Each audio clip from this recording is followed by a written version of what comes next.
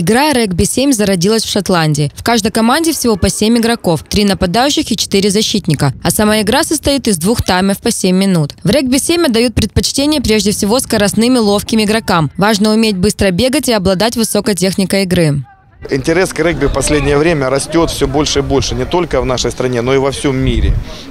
Э, люди начинают понимать, что не вкладывая в здоровье детей деньги, мы обречены на то, что наше поколение, те, кто будут идти за нами, э, не будет физически сильным, физически крепкими ребятами. Посмотрите, регби очень силовой, мощный вид спорта.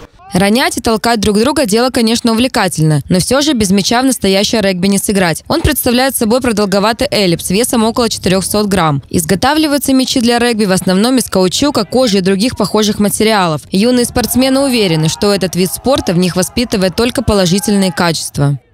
Волю к победе, веру в себя и силу. Физические качества и не только, и э, моральные качества очень даже это уважение к сопернику.